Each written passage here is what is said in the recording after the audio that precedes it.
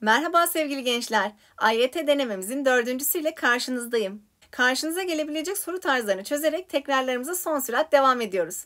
Deneme sırasında vereceğim ipuçlarını kaçırmamak için videomu sonuna kadar izleyin. Anlamadığınız yerler olursa da yorumlardan mutlaka sorun.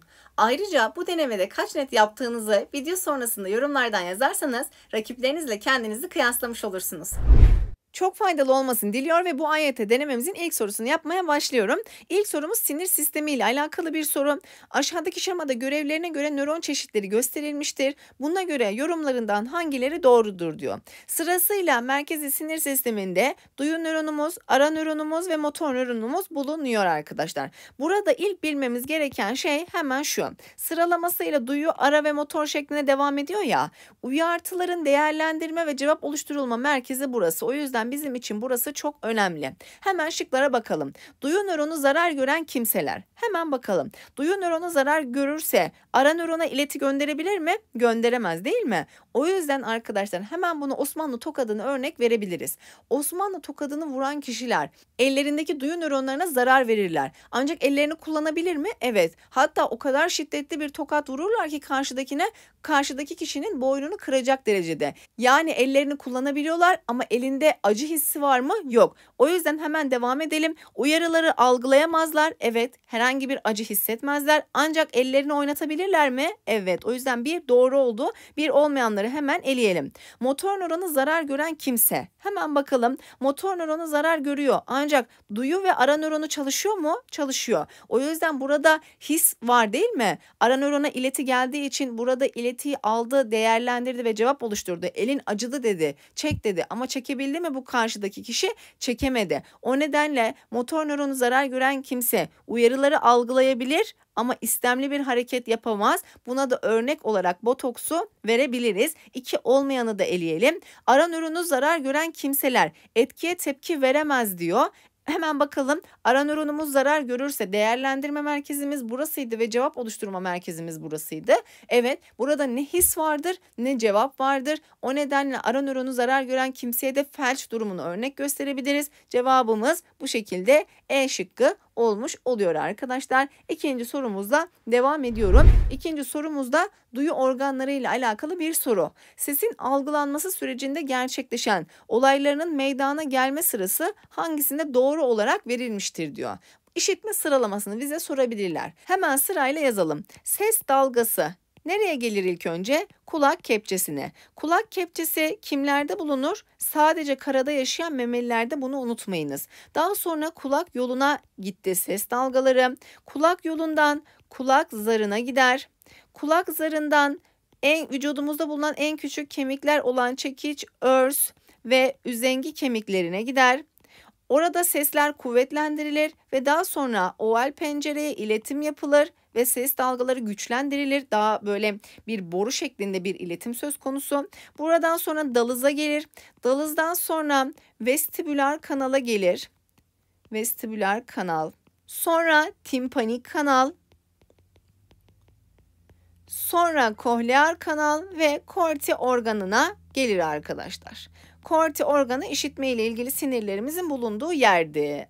Hemen bakalım. Orta kulaktaki çekiç, örs, üzengi kemiklerinin titreşmesi diyor. Hemen sırayla şöyle verecek olursak 1, 2, 3 diyelim daha kolay bir şekilde sorumuzu çözelim. Şuraya 5 diyelim. Şuraya 6, 7, 8, 9, 10 diyelim. Şuraya da 11 diyelim. Hemen bakalım. Orta kulaktaki çekiç, örs, üzengi kemiklerinin titreşmesi. Buraya kaç dedik? 5 dedik. Kulak zarının titreşmesi kaç burası? 4. Dalızdaki sıvının titreşmesi 7. Kohlear kanaldaki işitme reseptörlerinin uyarılması neresi? 10. Vestibüler kanaldaki sıvının titreşmesi 8. Hemen bakalım o zaman 4, 5, 7, 8, 10 şeklinde sıralayacağız. O zaman cevabımız ne oluyor arkadaşlar? 2, 1, 3, 5 ve 4 şeklinde B seçeneği olmuş oluyor. Devam edelim diğer sorumuzla. Bu sorumuzda sindirim sistemi ile alakalı bir soru. Yağlı besinlerle beslenen bir insanda sindirim ürünlerinin kana taşınması sürecinde yağ sindirim ürünlerinin miktarı aşağıdaki yapıların hangisinde artış göstermez diyor. Hemen şunu bilmemiz lazım. Bizim vücudumuzda yağlı olarak taşınan besinler nereden? Lenf kılcalından, kanlı olan şeyler de kan kılcalından taşınıyordu. Hemen burada bize yağlı besinlerle beslenen dediği için hemen lenf kılcalını düşünmemiz lazım. Hemen size şu şekilde kısaca bahsetmek istiyorum.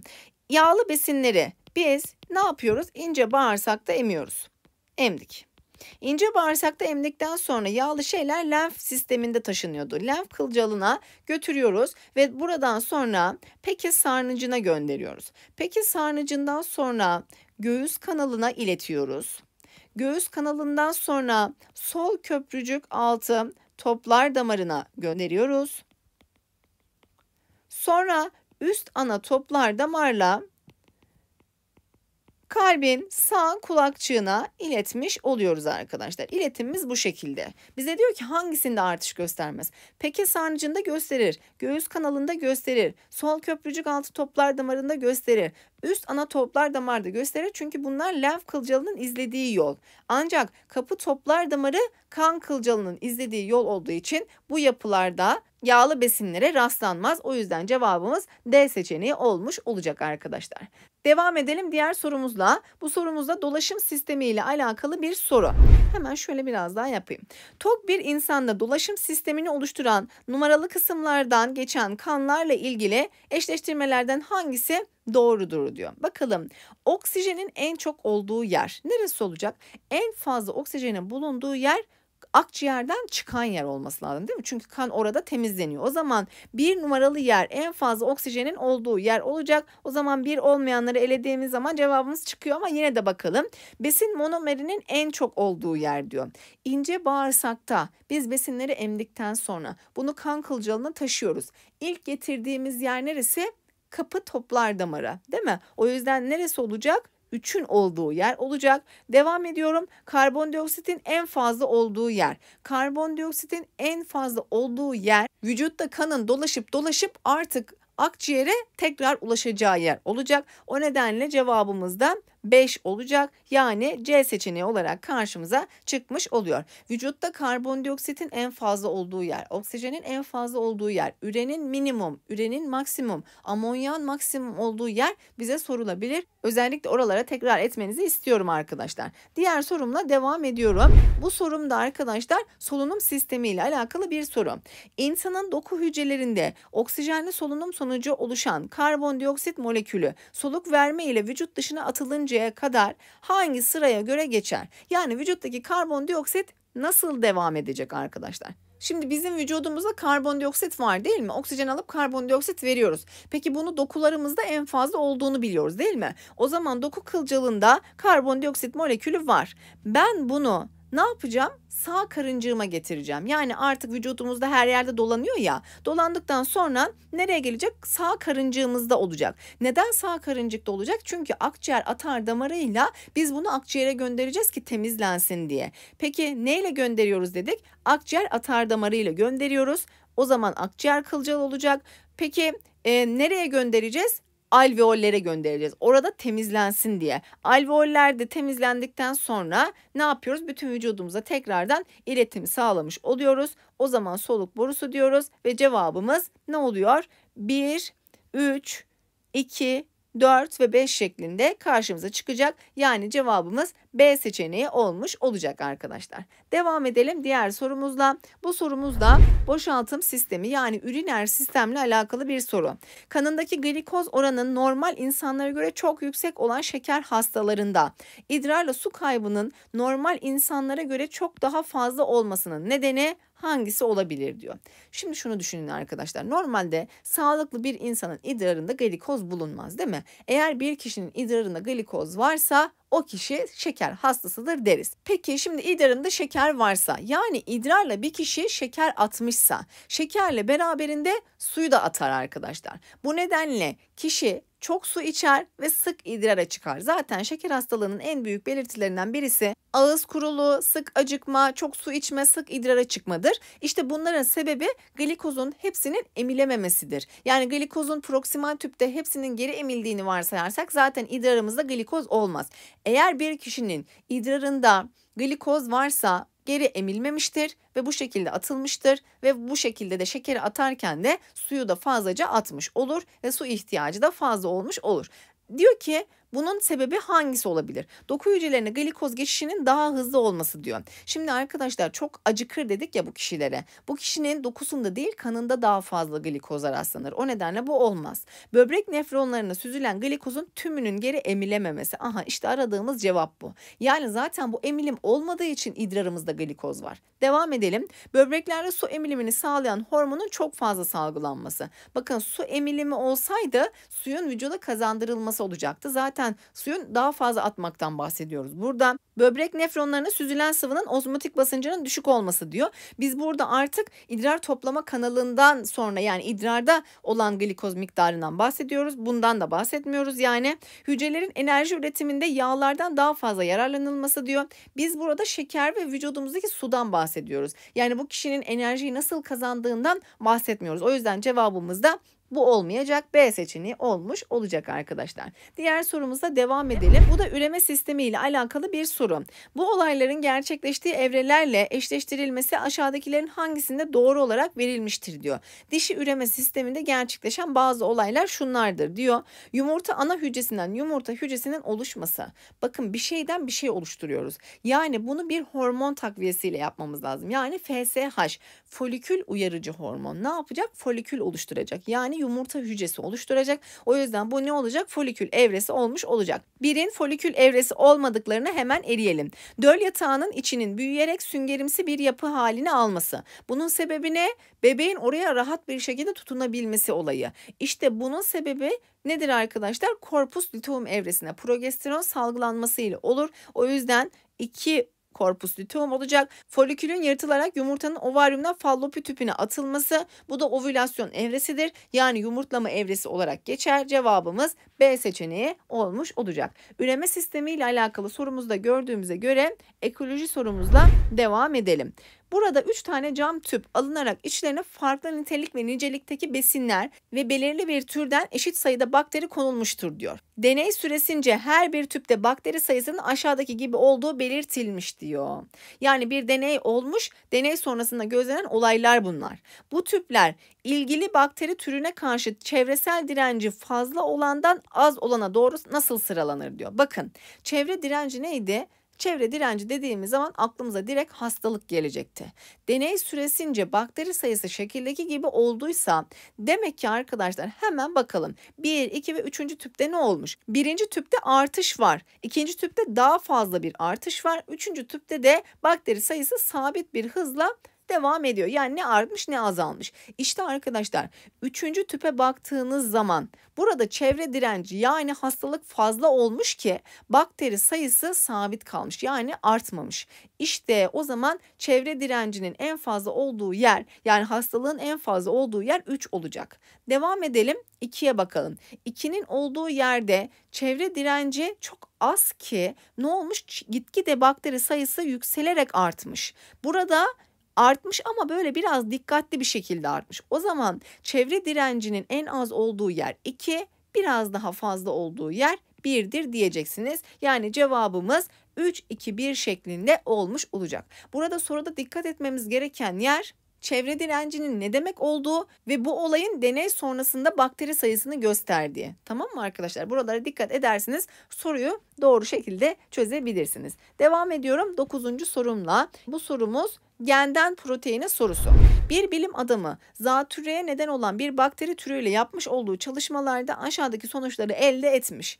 Bu bilim adamı bu deneyler ve sonuçlarından elde ettiği verilere dayanarak hazırlayacağı özütlerden hangilerinin deney hayvanına verilirse deney hayvanın ölmesini bekleyecekmiş. Hemen bakalım. Canlı kapsülsüz bakteri özütünü deney hayvanına veriyormuş, deney hayvanı yaşıyormuş. O zaman benim canlı ve kapsülsüz olmaması gerekiyor. Çünkü ölmesini istiyorum ben.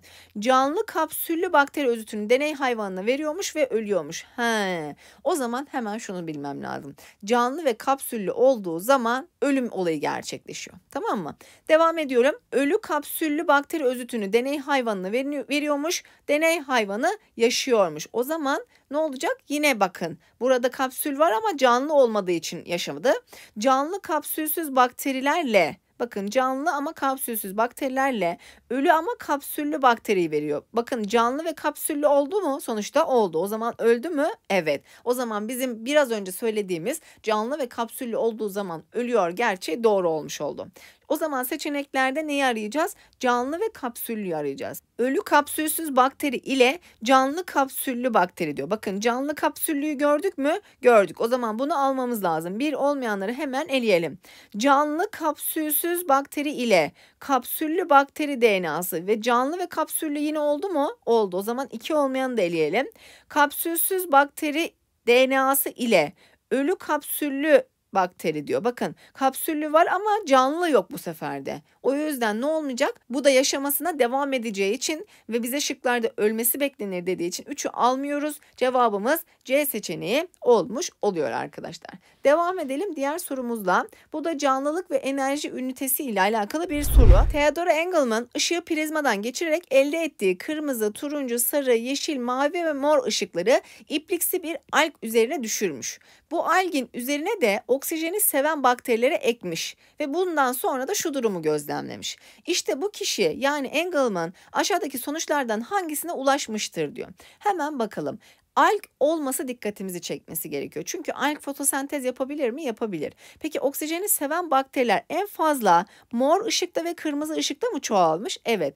O zaman buradan neyi anlayabiliriz? En fazla zaten fotosentezin yapıldığı yer mor ve kırmızı ışıklarda değil mi? O zaman algde fotosentez yapabildiği için bunu söyleyebilir miyiz? Ve oksijeni seven bakteriler fotosentez sonucundaki üretilen oksijeni kullanıldığı için buralarda en fazladır diyebilir miyiz? Evet diyebiliriz. O zaman bakalım. Bitkiler yeşil ışık altında daha hızlı büyür. Bakın yeşil ışığın olduğu yerlerde e, Gene bakteriler var ama az. Ancak bitkiler diyebilir miyiz? Diyemeyiz. Biz burada oksijeni seven bakteriler ve alg üzerine bir yorum yapabiliriz. Işık şiddeti fotosentez hızını etkiler. Tabii ki etkiler ama biz burada ışık şiddetini mi görüyoruz yoksa ışığın dalga boyunu mu görüyoruz? Tabii ki ışığın dalga boyunu görüyoruz. O yüzden bunu da almıyoruz. Aerob bakterilerde kloroplast bulunur diyor. Zaten bakterilerde kloroplast olur mu? Olmaz. Bu zaten külliyen yanlış. Işığın dalga boyu fotosentez hızını etkiler ki etkilemiş. Bu nedenle burada daha fazla oksijen üretilmiş ve şurada daha fazla oksijen üretilmiş.